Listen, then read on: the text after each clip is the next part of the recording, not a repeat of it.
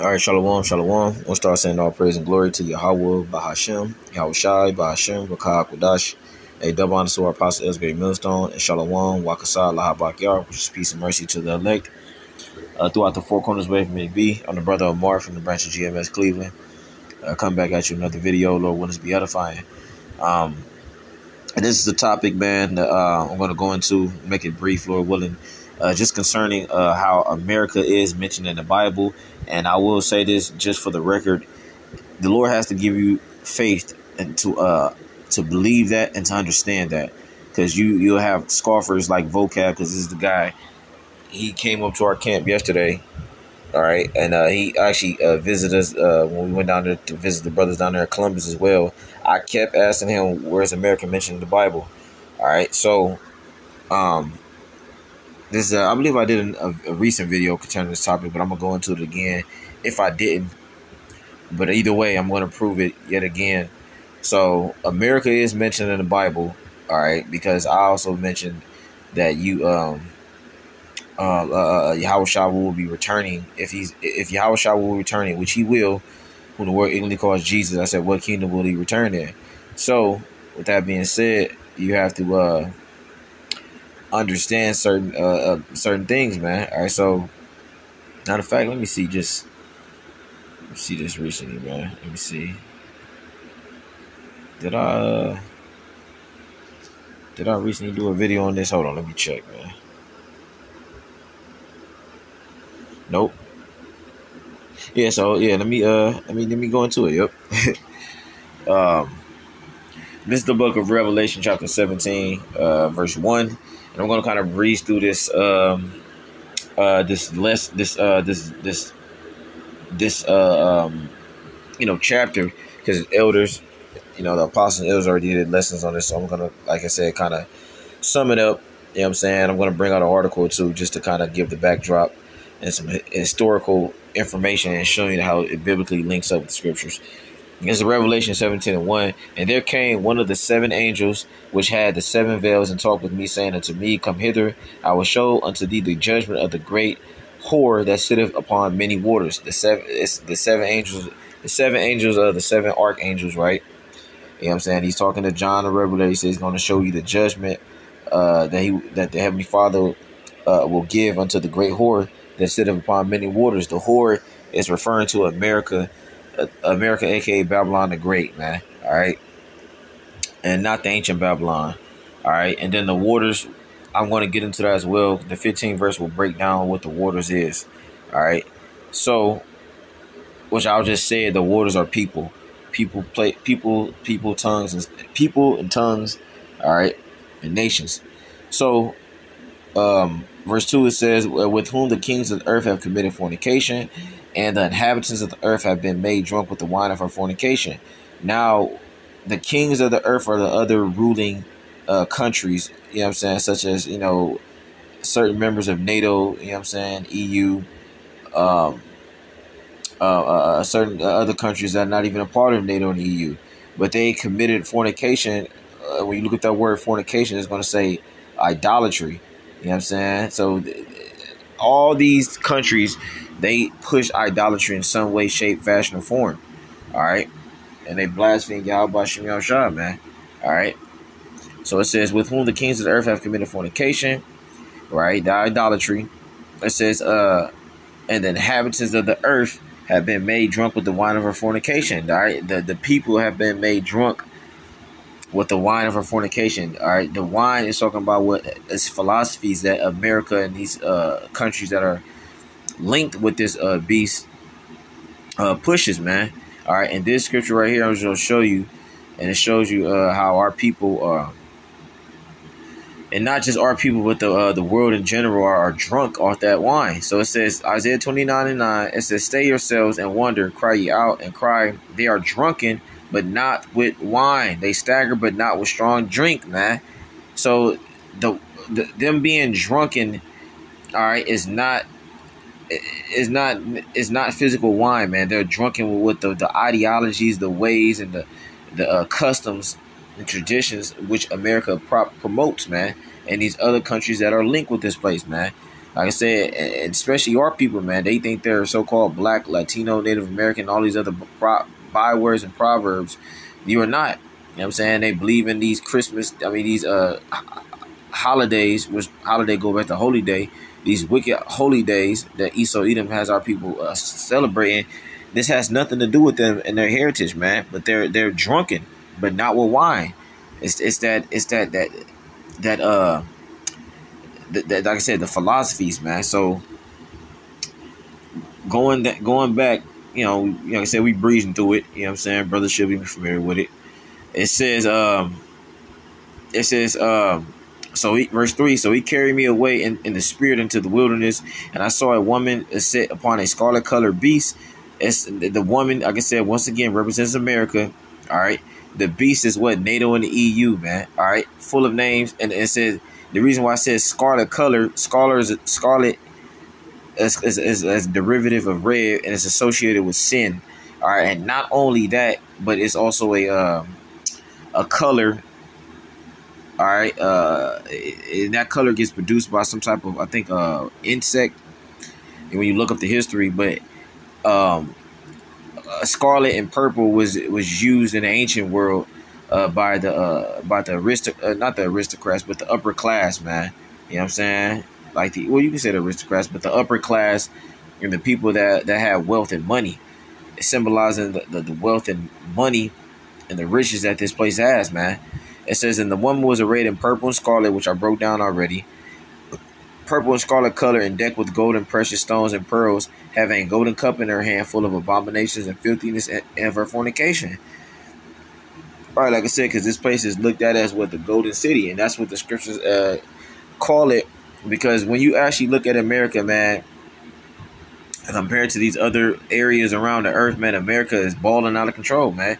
The average person here the broke person, like you know, even like say us that don't don't have money, you know, you're working a, dead end job, but you you still have a place to sleep. You have lights and uh, flat screen TVs. You have a, a, small apartment. You might even have a car.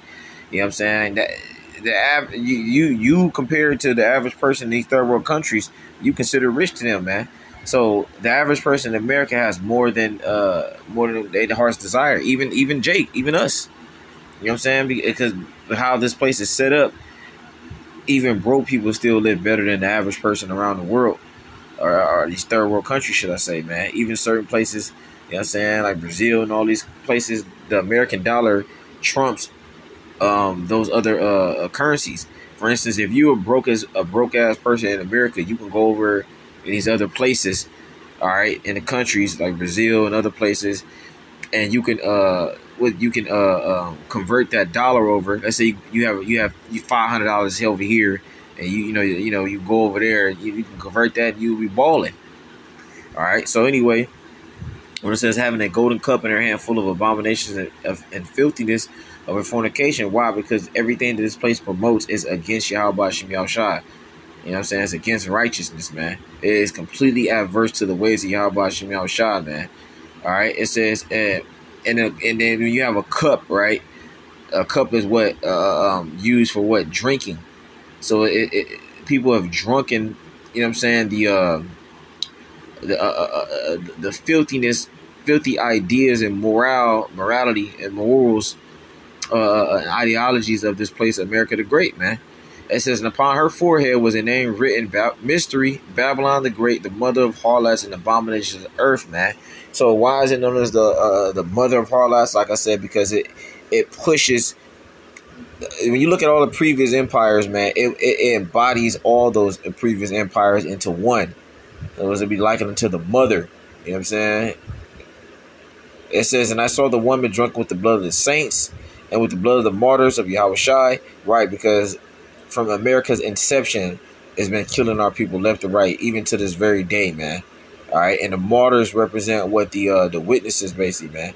Because when, when you look at the actual definition of a martyr, somebody that that uh, that pretty much will die or, or suffer severe pain for, for their beliefs. When you go into that word right there in the blue letter, it's going to say witnesses, man. All right. So it says, and with the blood of the martyrs of Yahweh Shai, right.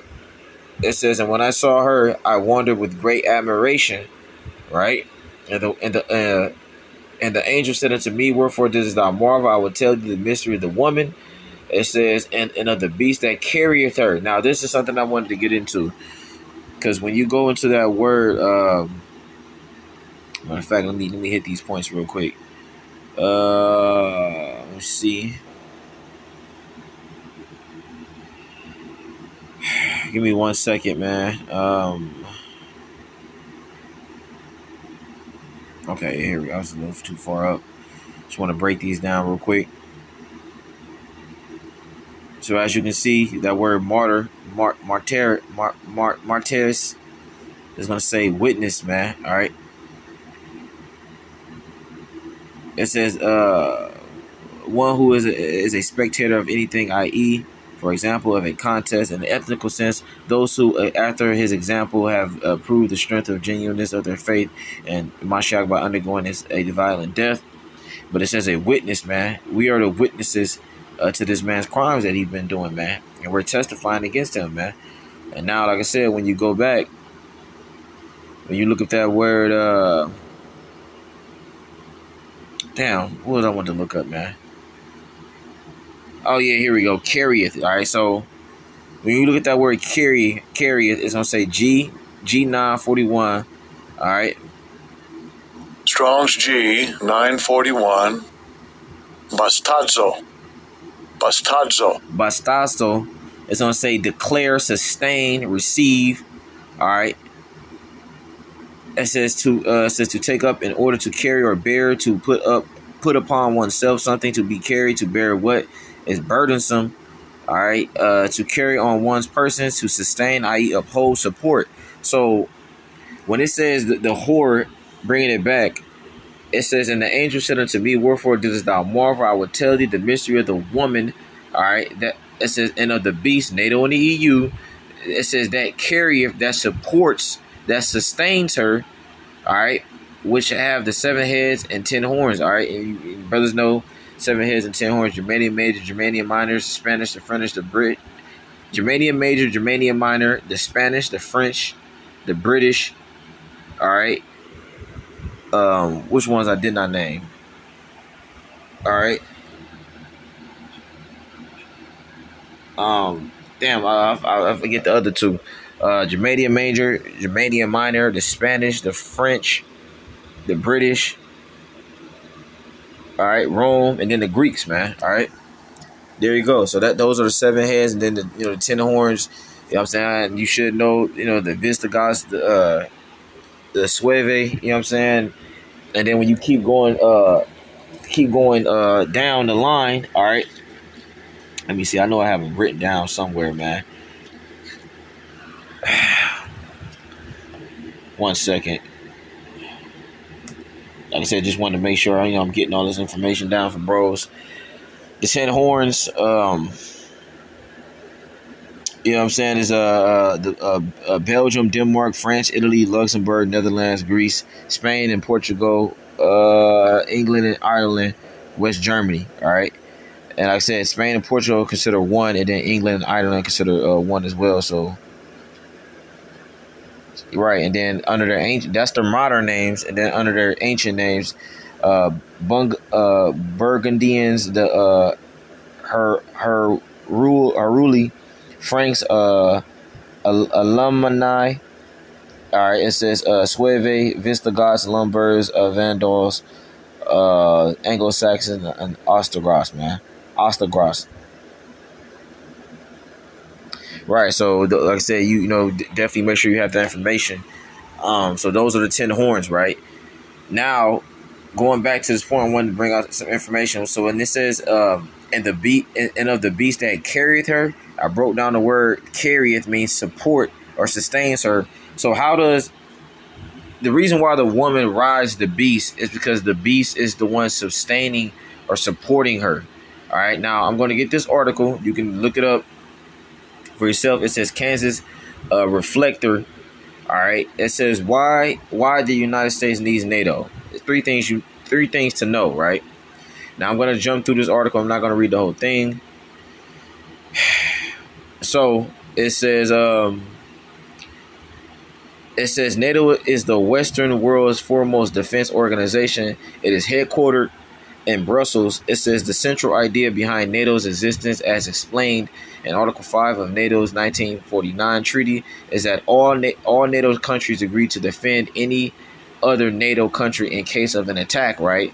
And as the main uh, uh, um, adversary or the main, uh, uh, uh yeah, that main adversary that they was combating was uh, uh, uh, uh, Russia. You know what I'm saying? At that time, that's pretty much the reason why it was created, right? So it says NATO has NATO has no standing standing army and relies on member countries to volunteer their military forces to carry out any operation. So all NATO countries agree to spend two percent of their annual gross domestic uh, product, which is which is their GDP, on military defense in order to support NATO. Right. So look, this is the thing. It says NATO has no standing army, right, and relies on member countries to volunteer their military force to carry out any operation. That includes going to war or if an attack is being waged on any of the NATO states or NATO countries. So, with that being said, right, I'm going to the, the point is going to break it down. So when you jump down, just for the just for the sake of time, when you you know what I'm saying, I'm not gonna say I was going to I'm not gonna read read the whole thing, but I'm gonna jump down, right? So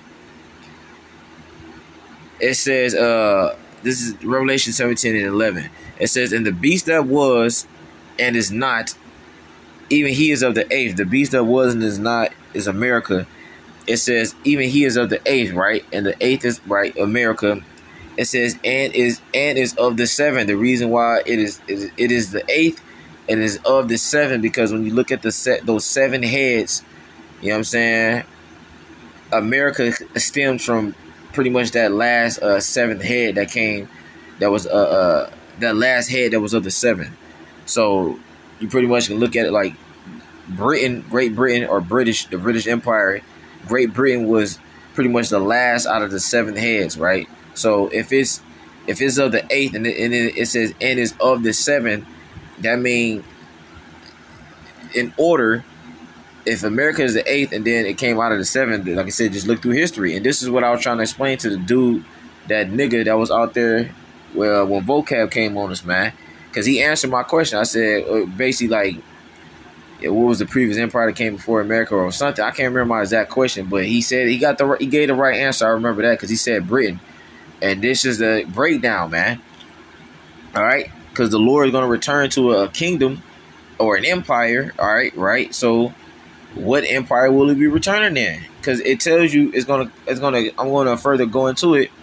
So it says verse 12, it says, And the ten horns which thou sawest are ten kings which have no which have received no kingdom as yet. Right. Why didn't they receive no kingdom as yet? Because they ultimately are not in rulership. Those vassal states uh, under NATO all right, or under America, if you will, they don't have, uh, uh, uh, they're not calling the shots, man. They're pretty much in allegiance or alliance to form this beast system to help promote and push the uh, the ways and uh, America's uh, uh, uh, uh um, uh, um, agenda. They're not pushing their own agenda because they are in conflict with another with one another.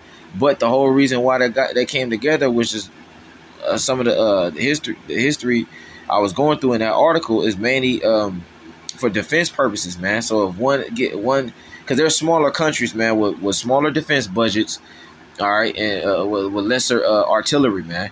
All right, so they form together to pretty much create a superpower, man. So if one person get attacked, the other one has to help them. That has been happening throughout the course of history, man. Even with a lot of the uh, the Greek empires and and uh, you go to a lot of these uh, historical uh, uh, uh, treaties, you know what I'm saying? Even in the scriptures, you know what I'm saying? They had to band together, you know what I'm saying, to overtake these a king or a kingdom. It's no difference, you know what I'm saying? So it says, uh, and the ten kings which thou sawest are ten king, and the ten horns which thou sawest are ten kings. So the horns represents kings, all right, which is today uh, these these these countries. You know what I'm saying? It says which have received no kingdom as yet. I already broke that down because they're not truly in rulership. They're forwarding. They came together to forward the uh, agenda of America, but receive power as kings one hour with the beast, right? So they're ultimately they have received some type of power because what you know what I'm saying they're carrying, uh, you know, they they have power, but it's not it's not uh, by themselves. it, it's pretty much uh, power uh, collectively. So now, going back through it, so this is this is another way to prove that America, uh, the America is the woman that sits on top, and uh, the beast is, that that carries her is supporting her. So it says NATO gives the U.S. reliable allies. Militarily and economically, the U.S. is a, a, hugely formidable power. It has the low, it has the largest nuclear arsenal on Earth and continues to be the largest economy in the world.